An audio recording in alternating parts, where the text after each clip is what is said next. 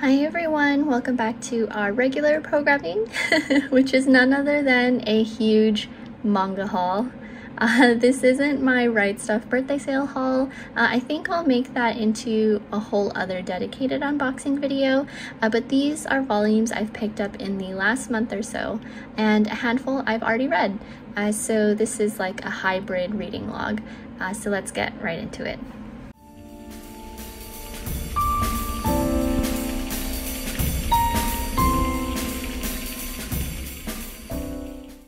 First series is the Savior's Book Cafe story in Another World, Volume 2. When I read Volume 1, it was actually so cute that I read this volume right after. Uh, I will preface that I'm not an isekai person, so in this story, my eyes kind of rolled over some of the isekai parts. Uh, but anyways, the series centers around this ball of light telling Sukina, the main protagonist, that she had to go to another world to be its savior. Just like the title says.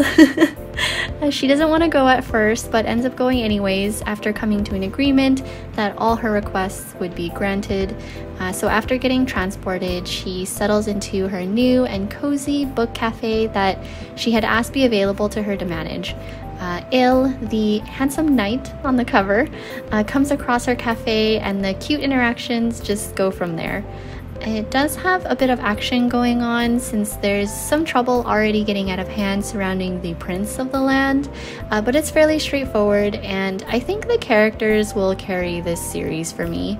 Uh, I really love Sukina since uh, she's an older character and not the typical high school student.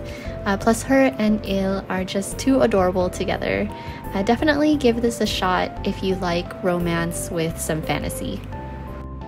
Next series is The Detective is Already Dead, Volume 1, which is the manga adaptation based on the light novel by Nigoju, uh, with art of this manga version by Mugiko.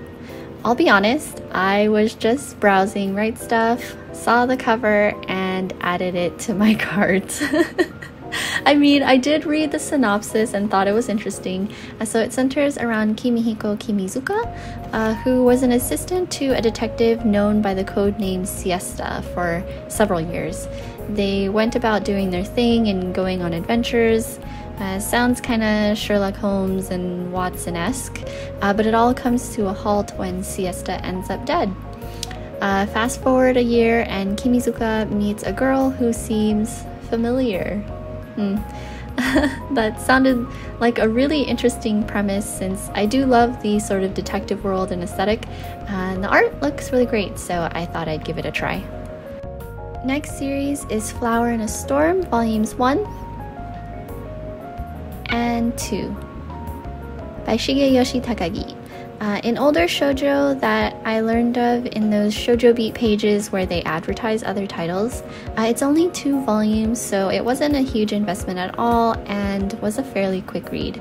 Uh, it centers around Riko Kunimi, who's super athletic, very nimble, can jump very high, uh, but was traumatized when she confessed her feelings to a guy and was rejected because she wasn't quote unquote normal. Uh, in comes Ran Tachibana, heir to a very rich family. uh, he literally comes bursting into her classroom, declaring that they are to marry because he had gotten smitten with her after an interaction they had. Uh, Riko is like, What in the world? and does everything she can to run away from Ran. Uh, the story really is a whirlwind of little events between the two main characters as they learn to get closer to each other. Uh, I don't think I totally recommend this, but you know, I still enjoyed it a decent amount. Another set of manga that I've already read are volumes 1 to 10 of Happy Marriage by Maki Enjoji.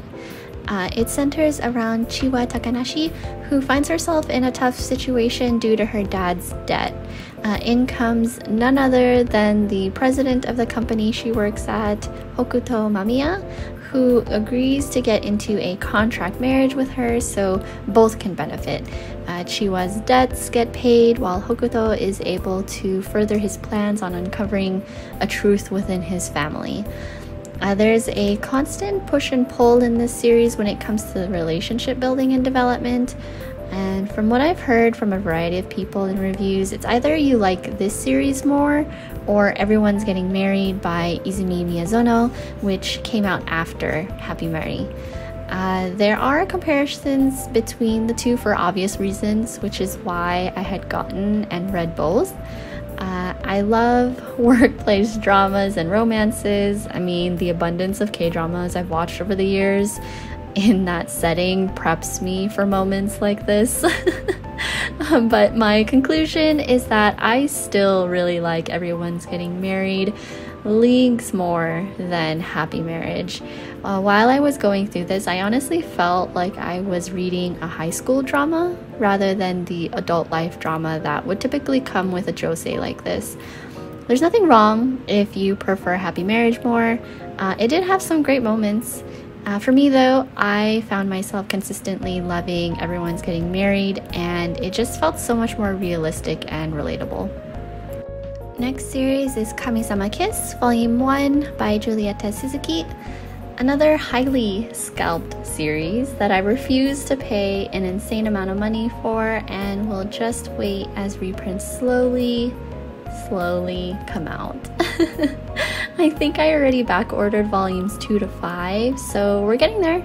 Uh, but this series is no stranger to any shoujo reader.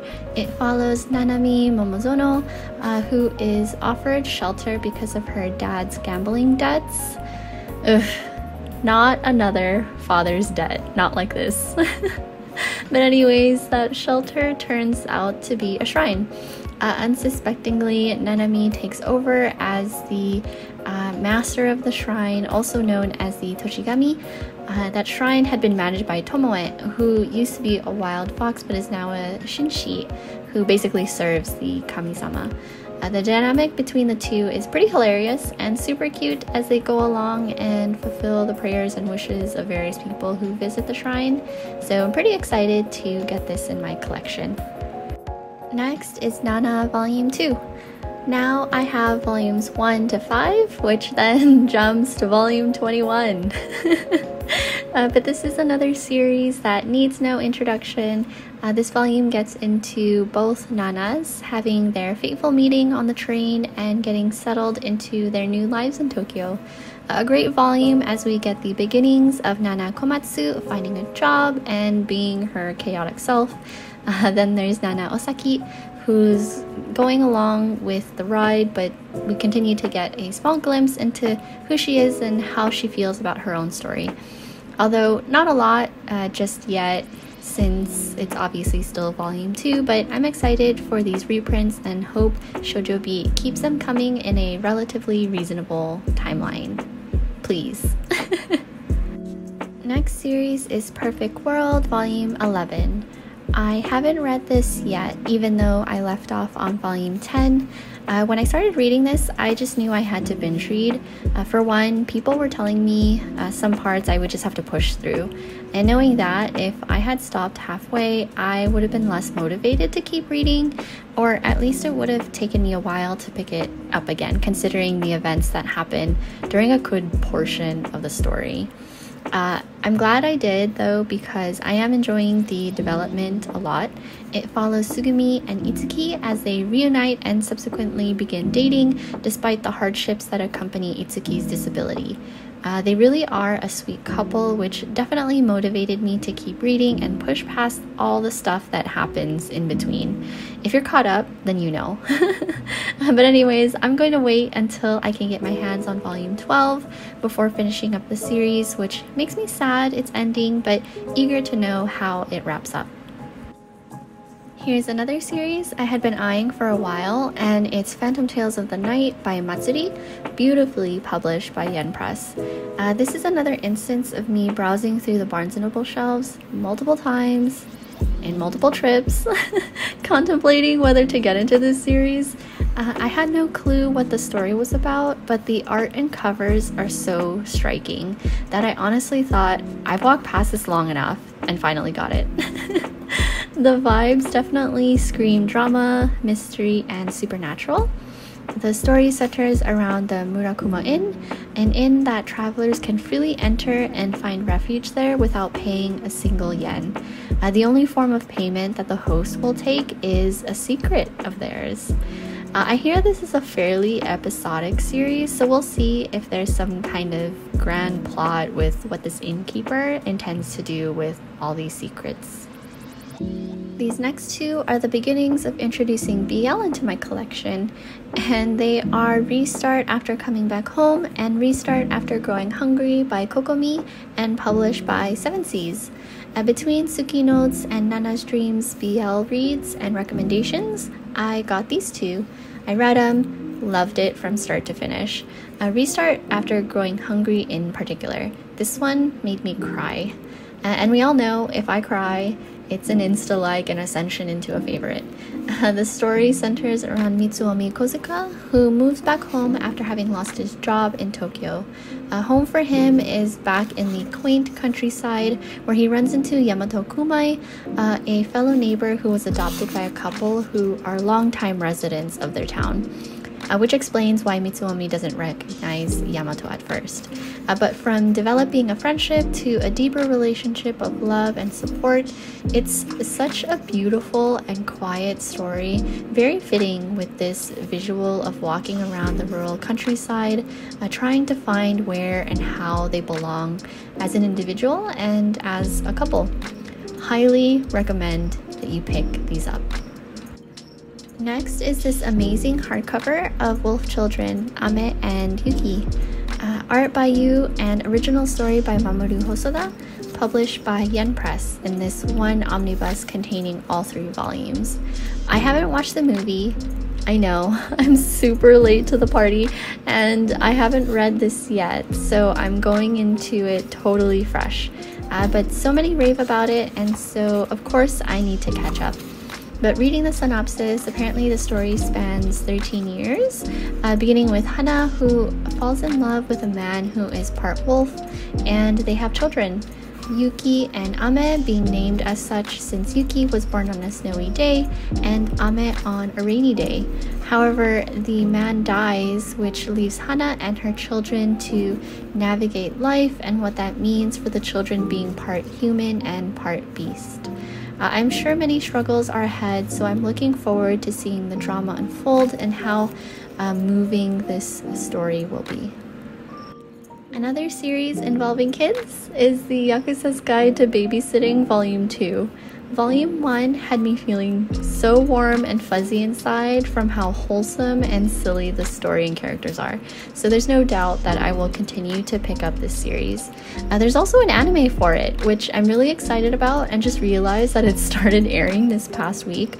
Uh, I think I'm gonna wait though to watch uh, the anime in case it gets past what's in the manga, uh, since the volumes have a slower release. Uh, but we have Kirishima, who's part of the Yakuza, uh, and then tasked with looking after Yaeka, the Yakuza boss's daughter. It's a slice of life, so it's broken up in these small episodic chapters as Yaeka goes to school, finds a cat, visits her mom, you know, small life things like that. And then along the way, you get the softer side of the Yakuza and Kirishima in particular. I already started reading this volume and I just can't. It's way too adorable and uh, like definitely check it out. Next is Your Lie in April, Volume 1 by Naoshi Arakawa. I have never read this series, but I did watch the anime. Uh, it's been a while though since I've watched it, so reading through it will definitely be a good refresher and to see what may or may not have been included in the anime. Uh, but it centers around Kosei Arima, a very meticulous pianist who was basically driven to shock when his mother passes away. Uh, his mother was very cruel to him during his lessons and had crazy high standards when it came to her desire for Kosei to be a world famous pianist. Uh, his mother's death and the loss of that toxic environment left Kosei uh, unable to really hear music. Uh, but his encounter with Kaori Miyazono, a violinist who plays so freely and without restraint, uh, is the start of his journey back into music and music performances. Uh, so I grew up taking piano lessons and doing recitals and things like that. And I remember having a really strict piano teacher. Uh, in my experience, it was kind of like a common trope in the saga of taking music lessons. Uh, not all teachers were tough, but some were for sure. Uh, at some point, you just kind of go along with it. So this story was always so interesting to me as a musician, and I'm curious to see how a manga depicts music and the feeling behind it. And last series I have to show elsewhere because it's a box set. the Bakuman box set, to be exact. Uh, this is one I've been waiting to get my hands on since the beginning of the year. I originally ordered it from a small online book retailer called Wildman's Books because the website made it seem like it was in stock uh, when actually it wasn't and turned into a back order. Months and months passed, and I thought, hmm, there's no guarantee that this small retailer will receive a reprint of the box set because of how distributors allocate the number of prints they receive for each retailer. Uh, and this includes large retailers who most likely get priority in receiving restocks. So I ended up requesting to cancel my order with them because I got this copy secondhand for a decent price. Uh, but it has volumes 1 to 20 with a two sided color poster and extra mini comic. I really wanted to get into this series because I've been loving stories that delve into the world of what it takes to create a manga or have some sort of creative industry aspect to it. Uh, it follows Moritaka Mashiro, who teams up with Akito Takagi.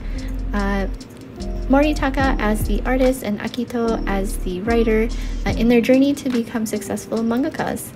I'm curious to see how they get there, if they do, and all the hurdles in between. Uh, this is my first box set, so pretty excited to have this now.